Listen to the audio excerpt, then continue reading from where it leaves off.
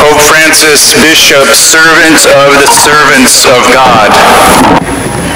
Francis, Francis the Venerable Brother Kota Kota Fugamba, Fugamba, until Emeritus of Kigoma, and Past Secretary of the Dicastery for Evangelization, appointed Coadjutor Archbishop of Kigoma, well-being and apostolic blessing, that Supreme Love must be put before all human security, which is particularly the Church. moves the souls of human beings to God, strengthens the harmony among them, and can mitigate the major parts of every kind of misery. It is the one which bends to some, lifts itself erect to others, is gentle to some, severe to others, to none an enemy, to all a mother moved by the reasons of this love, we have reflected very carefully on the needs of the beloved metropolitan archdiocese of Tabora, and we have decided to assign it to co-interim archbishop.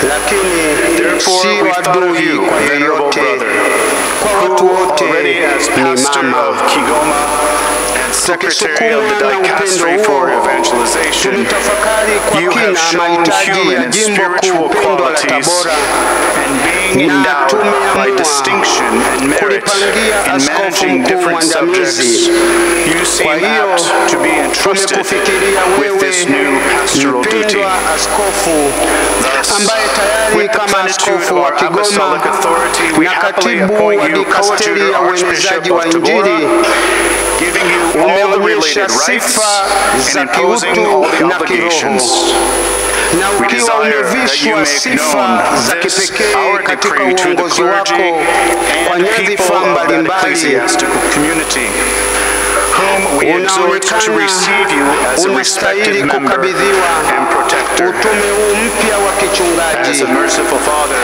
Hivyo basi, brother, kwa mamlaka yetu ya flock, through the kitume, intercession of the Blessed tunayo Virgin Mary furaha and Saint Teresa of the Child kukuteua wewe Jesus, kuwa askofu mkuu to mwandamizi wa jimbo kuu of la Christ. Tabora na kukupa wajibu na haki zote zinazohusiana na wadhifa huo.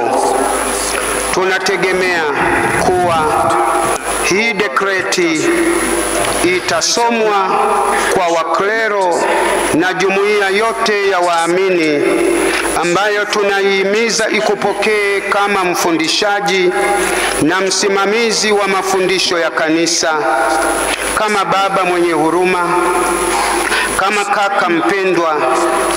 Ulichunge kundi hilo kwa maombezi ya Mama Bikira Maria na Mtakatifu Terezia wa mtoto Yesu, liweze kufuata kwa uaminifu mafundisho ya Kristo. Imetolewa Roma, kanisa la Laterano, tarehe 13 mwezi wa 4 2023, mwaka wa 11 wa upapa wetu. 23, 11th of our pontificate, Pope Francis.